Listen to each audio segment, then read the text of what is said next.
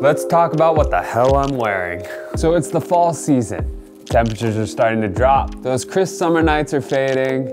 And for a lot of you, you're starting to put your backpacking gear away. But don't! There's less people out there. There's the beautiful fall colors. But for most people where they live, the fall comes with a certain set of challenges. Here in Idaho, we know all about the cold and we're already starting to see it. But don't let that discourage you. You just have to be prepared. Let's talk about layers. How to layer, what layers you need, what kind of warmth you're looking for, how to pack all that extra clothing into your backpack. Cue that beautiful fall slow motion.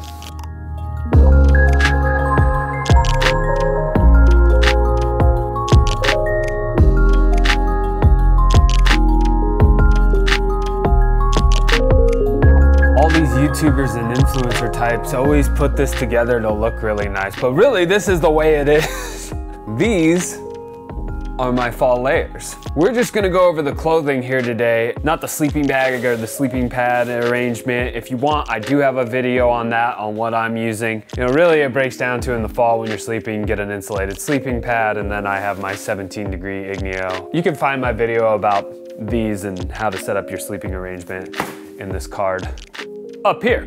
But for right now, we're just gonna go over the layers. So first things first, what are you gonna wear as a shirt, as your base layer. This is nice, it's quick dry, it's weatherproof. 32 degrees, I think is actually the name of the company. And this shirt is great. There's a lot of shirts like this. Just make sure it's, it's long sleeve and make sure that uh, it's not gonna soak up your sweat like cotton or anything. These are my hiking pants. They're just the hiking pants I use in the summer. Don't worry, I'm actually wearing pants right now, but you couldn't see them, so they unzip so you can turn them into shorts. Moving on to my favorite, and what I think is one of the most important layers, your mid layers. These are my tights. These are Smartwool 250 Intraknit. You want them tight. You can't. You don't want them baggy. But these I can hike in. But mostly I just sleep in these, or I hang around the campfire in these. These can go underneath, obviously, my hiking shorts. This is from REI Co-op. Uh, it's their basic uh, mid-weight. Yeah, once again, you don't want it to get wet when you sweat, but you also want it to, to keep you warm. For my socks, I'm still wearing my normal hiking socks. Uh, I always bring two hiking, two pairs of hiking socks because obviously one gets wet, then you can wear the other ones. But in the fall, I bring a third, the socks that I snowboard in, and these are just for sleeping. And yeah, it's a little extra room in the bag, but these will keep your feet warm when you uh, when you go to bed at night. In the newest video of the uh, Boulder Louie Lake Loop, I was wearing some gloves in the beginning. Right when we started, Brett was making fun of me for the way I looked with these gloves. In the morning is when it's the coldest, when you start. And if you're like me and you're holding a camera, that camera is metal and it's cold. I stuck my tripod in the river to get that last shot and it's the joints have frozen. I always have these in my bag. They're those like thin, just kind of touchscreen gloves. Uh, these are from Ozero, they work great. By the way, by hike two, Brett wasn't shooting much in the mornings because he had his hands shoved in his, in his pockets. And uh, he thought my gloves weren't that stupid then.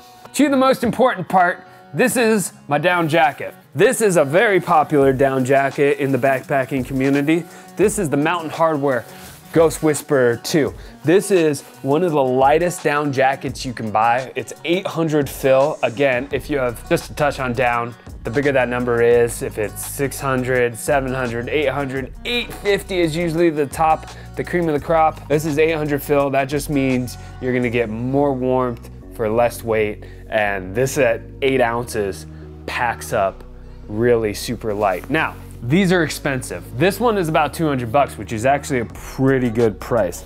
These are expensive, and when I first bought this thing, I made the brutal mistake of wearing it around a campfire. As you can see, I spent, I was really hopeful to not put a hole in it, but I did. If you get a hole in one of these things, you don't sew it or anything like that. You just get some of this repair patches uh, from Tenacious Tape. It's about five bucks, super easy. You cut it out, you stick it on here. It works like scotch tape. Actually, when I noticed this hole, I didn't have any of this lying around and I used scotch tape. It worked really well. So, and uh, I was really perturbed that I couldn't sit around the fire and wear down. I mean, in the fall, you wanna be sitting around a fire and you wanna be warm. So I was like, what do I take? This is the Trailsmith Woven Pullover by REI. It's really light, it's really thin, it's really tough. It literally says on the tag, made to carry firewood. And I take this with me just to be around the fireplace. I can wear this, I can wear my fleece, all my nice stuff, and then I throw on this $20 cheap pullover and it keeps my gear looking nice, looking fresh. It adds an extra layer to keep me warm. So a good fire hack. Rain gear, definitely take rain gear if there's clouds in the forecast. it also works as a, a windbreaker, but again, it's expensive, so you probably don't wanna wear you probably don't want to wear it around the fireplace. Down does not work well with water, so you can't let down get wet. It's not going to protect you. So make sure you have a piece of rain gear, at least over the down. I only usually take pants if I'm really expecting rain because the hiking pants and everything, you know, wick moisture away so well and they quick dry so fast. But if I know that rain is in the forecast, and I'm expecting rain, I will take the pants. And of course I have my beanie. This is a Smartwool beanie. It's thin, it's made for backpacking. When you're looking for something to keep your head warm, make sure it's thin. Don't get one of those big puffy beanies that are comfy for around town. So the other challenge with all this stuff here is how do I shove it into my backpack? What's the most efficient way to carry this? How do I find room for all this stuff? So the first tip I'll give you is what's called an army roll. This is how I roll my clothes. Guess where it comes from? Our military does it. And I'm not gonna go into this on, in too much detail. There's tons of videos online. Roll it up. So see, here's one. That's rolled. You do it with pants too, and it's basically just rolling it up and tucking your clothes into themselves. You can see here, but you can see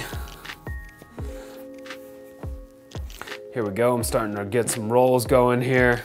Once I get them into the army roll, everything goes into this, uh, into this compression sack. Blah, blah, blah, blah, blah. You get it, you get it. Shoved down in there. Usually on top where I can grab it.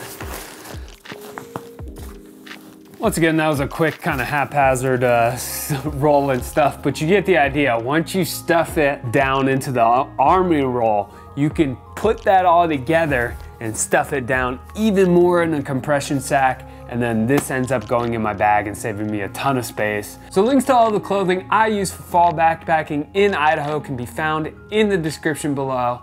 Don't miss fall. It's a beautiful season. Stay warm out there. Thanks for watching and we'll see you next time.